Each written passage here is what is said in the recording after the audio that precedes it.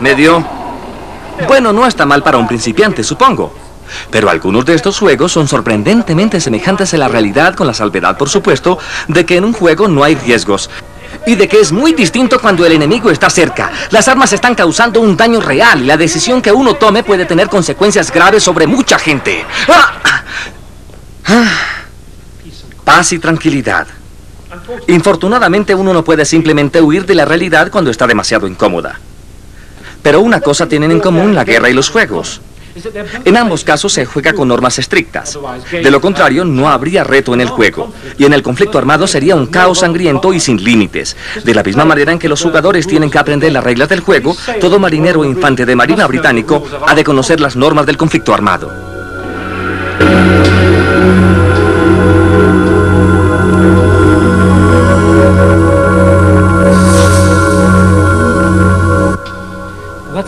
Este es el primer punto interesante, el derecho del conflicto armado, ya que ciertamente no se trata de un juego.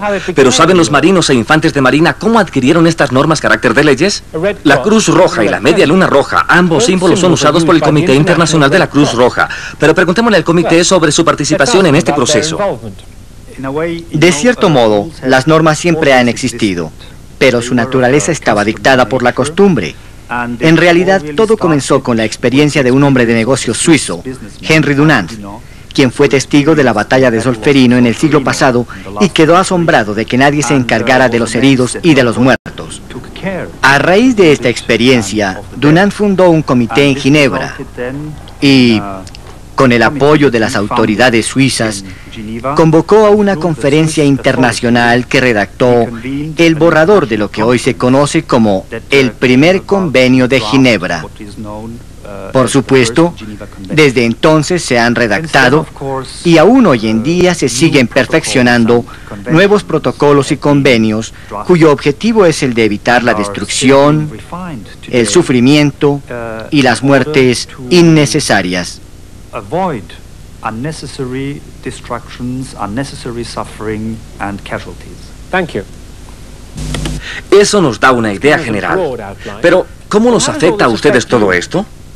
Utilicemos nuestra versión del juego para verificar las normas.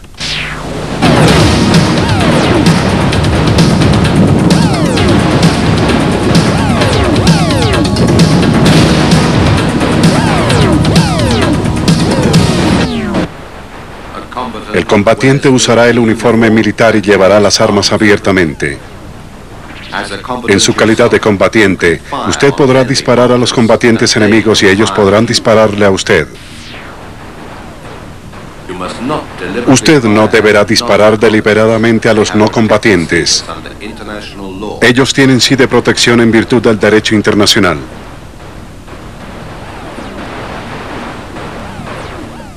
Les mostraré un ejemplo de un caso que tuvo mucha publicidad en la época de la guerra de Vietnam.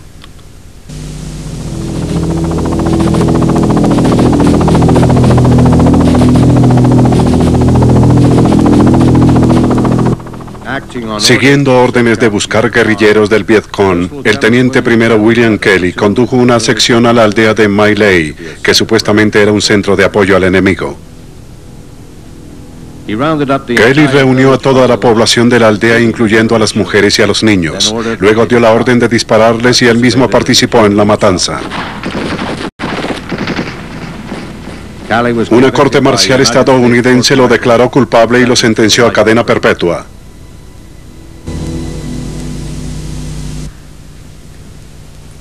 Aún en el caso de que no se esté seguro de quiénes sean los combatientes, usted no puede simplemente disparar de manera indiscriminada. Si usted dispara a los no combatientes, se le adelantará una investigación y probablemente se le llevará a juicio. Recuerde que dado el amplio cubrimiento de la guerra por parte de los medios de comunicación de masas, es casi seguro que se descubra este quebrantamiento de ley. Entonces, además de los civiles, ¿quiénes más tienen protección? El personal religioso, tanto civil como militar, está igualmente protegido. Normalmente usted podrá reconocer a un sacerdote o a un capellán militar, pero ¿y si se trata de un ulema musulmán o de un sacerdote budista o hindú? Usted tiene que saber cómo reconocerlos. Los médicos son otro grupo protegido. Ellos pueden portar armas pequeñas, pero solamente para proteger su vida y la de sus pacientes. Pueden identificarse por los uniformes característicos o por los brazaletes de la Cruz Roja o de la Media Luna Roja. Los no combatientes de cualquiera de estos grupos pierden su estatuto de protección si de manera activa participan en un conflicto. En ese caso, usted puede responder al ataque. Otro grupo que tiene estatuto de protección, los combatientes heridos, enfermos, capturados como prisioneros de guerra o víctimas de naufragio, adquieren automáticamente protección de no combatientes. Técnicamente están, lo que quiere decir, fuera de combate. Y como tales, según la ley, tienen derecho a protección total. Demos un vistazo al caso que fue llevado a juicio al final de la Segunda Guerra Mundial.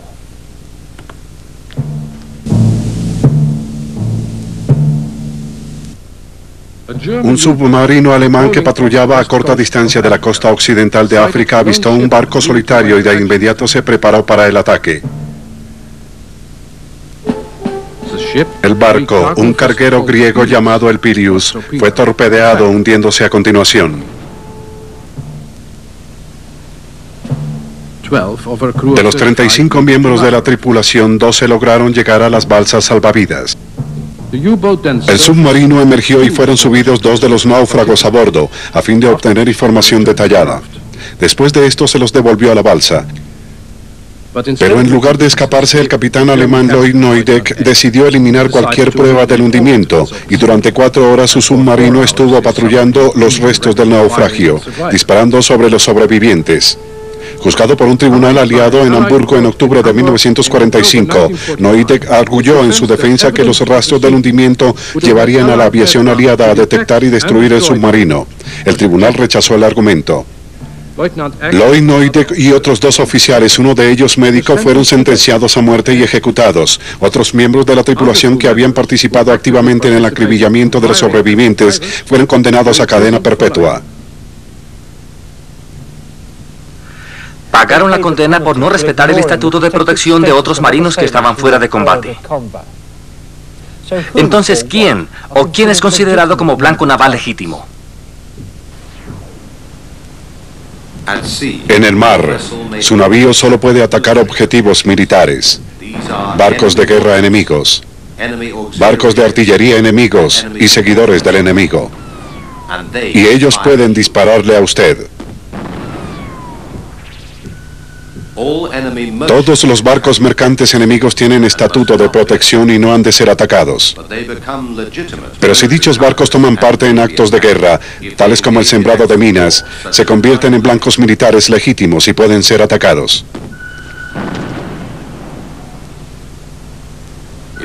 Si navegan en un convoy protegidos por barcos o aviones militares enemigos.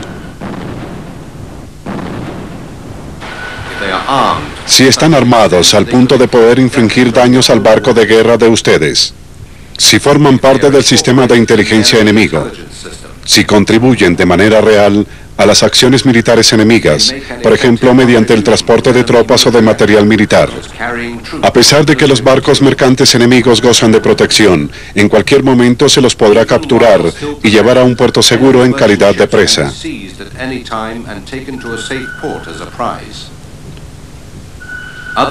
Entre los navíos enemigos que gozan del estatuto de protección se pueden citar además los barcos de pasajeros que transporten únicamente pasajeros civiles, los barcos que se hayan rendido, los buques hospital, las pequeñas embarcaciones costeras de rescate, los botes y balsas salvavidas. Estos navíos pueden igualmente perder su estatuto de protección. Por ejemplo, si un buque hospital transporta municiones o tropas hacia una zona de desembarco.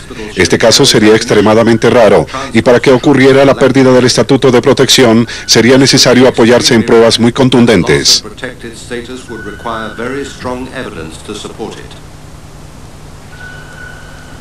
Todos los navíos neutrales tienen estatuto de protección, ya sean barcos de guerra o barcos mercantes, dado que no toman parte en el conflicto. A ustedes se les permite detener y capturar los barcos mercantes neutrales. Si hay indicios de que un buque de guerra o un barco mercante neutrales están involucrados directamente en acciones militares enemigas, pierden su estatuto de protección. Por ejemplo, un barco mercante neutral que se niegue a detenerse y a que se lo registre, pierde por este hecho su estatuto de protección. Cualquier náufrago, así sea combatiente, tiene el estatuto de protección una vez que esté en el agua y se le deberá prestar ayuda en la medida en que ustedes puedan hacerlo sin poner en peligro su propia vida. No se hará ninguna distinción en el tratamiento médico que se le preste. La prioridad estará determinada únicamente por la urgencia. Examinen estos ejemplos.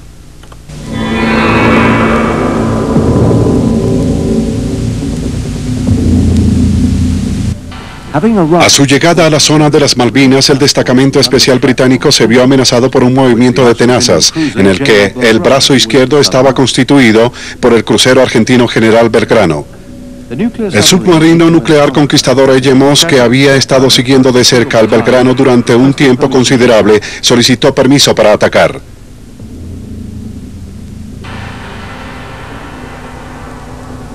Después de hundir al Belgrano, el conquistador se abstuvo de atacar los barcos escolta que acompañaban al crucero, dejándoles la libertad de rescatar a cualquier sobreviviente del naufragio. La Marina Británica tiene opiniones sobre cómo los marinos y los infantes de Marina británicos aplican el derecho del conflicto armado. Preguntémosle a un oficial de alto rango. La Gran Bretaña ha firmado y ratificado los convenios de Ginebra, además de la mayoría de los tratados referentes al derecho del conflicto armado. Después de la ratificación, dichos tratados son incluidos en el ordenamiento jurídico tradicional mediante una ley del Parlamento, por lo tanto son de cumplimiento obligatorio para todos los militares británicos. Cualquier quebrantamiento acarreará el castigo correspondiente. ¿Cómo los militares se recordarán cuáles son sus obligaciones en lo que atañe a estas leyes?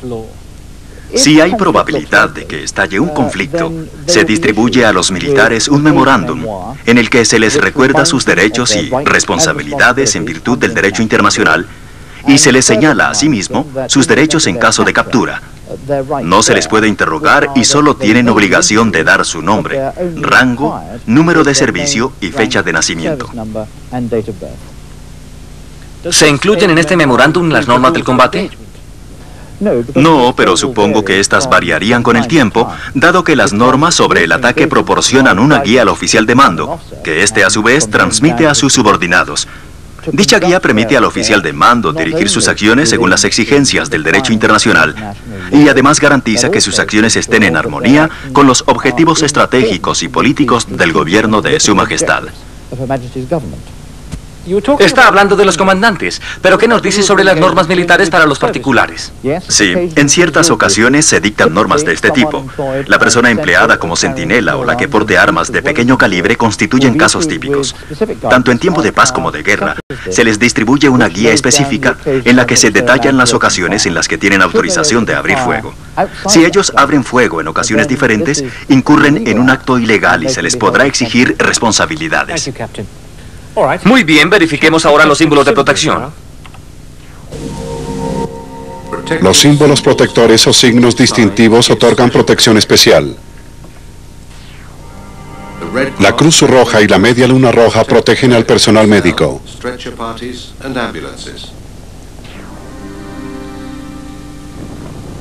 A los grupos de camilleros y a las ambulancias hospitales, barcos hospitales y aviones médicos. No se tomará como blanco nada que lleve la Cruz Roja o la Media Luna Roja. Ustedes deberían conocer todos los demás símbolos de protección que pueden exhibirse en brazaletes, tarjetas de identidad, banderas e instalaciones de servicios.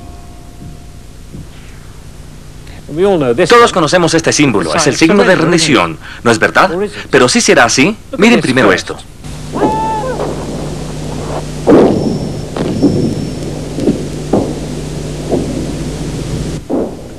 Al calor de la batalla Focus Green, una unidad argentina levantó la bandera blanca, suponiendo que esto era un signo de rendición. Un oficial británico de rango menor y dos soldados salieron al descubierto, comenzaron a avanzar y fueron acribillados por otra unidad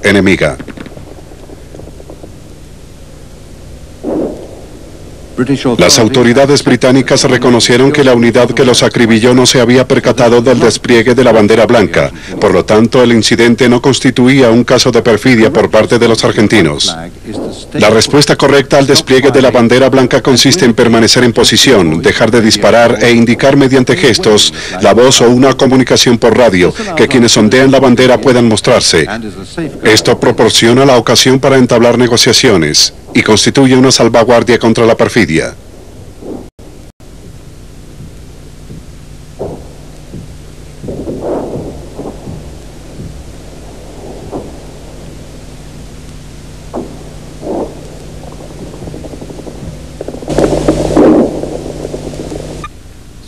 Así pues, esos malos entendidos pueden costar vidas. A propósito, ¿saben ustedes lo que significa perfidia? Verifiquémoslo. Es ilegal utilizar un símbolo de la Cruz Roja o de la Media Luna Roja para evitar el ataque sobre blancos legítimos o para ayudar a que barcos militares se acerquen al enemigo o se escapen de él. Esto constituye perfidia. Es ilegal simular un naufragio o utilizar una bandera blanca para animar al enemigo a exponerse al fuego. También esto constituye perfidia, un claro quebrantamiento de la ley. Es todo.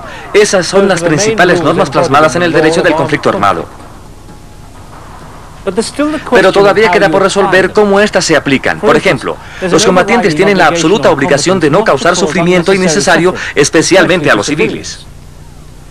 ¿Cómo puede la Marina Británica adoptar este principio? Capitán, ¿esta es una consideración que pueda llevarse a la práctica al calor de la batalla? Bueno, por supuesto que esta no es una situación en la que se encontraría a menudo un comandante naval. Piense por ejemplo en la guerra del Golfo, y aquí hablamos de armas que se dirigen en el aire. Vimos allí cantidades de misiles que se orientan según la posición de bombas guiadas por rayos láser. Con la inmensa precisión que tienen estas cosas, se llega a tal punto que usted puede seleccionar los blancos y dirigir sus armas, evitando así muertes innecesarias y lo que nosotros llamamos daños colaterales, o sea, lo que puede producirse en instalaciones como hospitales u otras edificaciones alrededor del blanco. Dicho esto, la mayoría de los comandantes navales no se encuentran en esta situación. Nuestras amenazas tienden a ser blancos específicos dirigidos hacia nosotros para atacarnos o para atacar a las fuerzas que estamos escoltando. Hablo aquí de misiles disparados hacia nosotros, hacia nuestros aviones, otros blancos en la superficie o submarinos y normalmente ninguno de estos blancos está rodeado de civiles o de edificaciones civiles, ni está en zonas en las que los daños colaterales puedan constituir un problema. Hay un ámbito en el que podría esta preocupación y yo recomendaría al oficial al mando que lo tuviera en cuenta en sus consideraciones. Se trata del caso en que dicho comandante, con las armas de su navío, está prestando apoyo naval para un ataque y dicho apoyo ha sido solicitado por nuestras propias tropas en tierra. Aunque nunca se dispara a ciegas, si el blanco está en las afueras de una población o al interior de la misma, naturalmente uno tiene que tener en cuenta que con el apoyo naval en el ataque a esta zona podría causar muertes innecesarias en la población civil o daños colaterales innecesarios ¿Esto no se ajusta con los objetivos de la eficiencia militar? Sí, claro, porque en cualquier aplicación de la fuerza se aplica el principio de proporcionalidad, lo que en términos sencillos significa que para alcanzar un objetivo militar dado se utiliza únicamente la cantidad necesaria de fuerza. ¿No es un hecho que las armas que causan sufrimientos innecesarios están explícitamente prohibidas por convenios internacionales? ¿Puede el CICR confirmar esto? Sí, es cierto. El derecho internacional ha prohibido explícitamente algunas armas. Piense, por ejemplo, en las armas químicas o en el gas tóxico que ya había sido proscrito en 1925 y que, contrariamente a lo que se esperaba, no se usó en la Segunda Guerra Mundial. Infortunadamente, desde entonces ha habido algunas excepciones. ¿Algo más, capitán? Sí, los marinos e infantes de marina británicos pueden tener la certeza de que toda arma que se les suministre para su utilización se ajusta a las normas del derecho internacional. Hay que cerciorarse simplemente de que ellos no le hagan ninguna modificación o la manipulen para causar más daño. ¿Quiénes hacen que se cumpla esto? Como no hay una fuerza policial internacional, será fácil evitar el castigo para ciertas acciones. Yo diría que puede ser fácil, pero es un poco como en la vida civil. Aunque existe la fuerza policial, hay muchos delitos que pasan desapercibidos. Por esta razón, en el caso del derecho del conflicto armado, los gobiernos mismos tienen que hacer cumplir las normas. Así que el gobierno británico hará cumplir estas normas. Exactamente. Y no olvide que normalmente únicamente los casos importantes adquieren publicidad. Piense en los juicios después de la Segunda Guerra Mundial. Casos como el de Hess o el del teniente Kelly durante la guerra de Vietnam. En cambio, los casos menores nunca llegan a las noticias, ya que son tratados por tribunales civiles o por consejos de guerra. ¿Qué tipo de delitos que debería tratar un consejo de guerra o un tribunal civil quedan al margen del conocimiento público? Bueno, yo diría que, por ejemplo, delitos como el saqueo o el robo a prisioneros de guerra, a civiles o a civiles enemigos o a militares enemigos muertos. En cambio, casos como la violación o el asesinato obtendrían publicidad, por supuesto. Con todo esto, ¿no es difícil para la Marina Británica hacer una guerra? De ninguna manera. Como combatientes profesionales, nuestro fin es siempre alcanzar nuestros objetivos militares atacando únicamente blancos militares, usando la menor cantidad posible de recursos y de personal.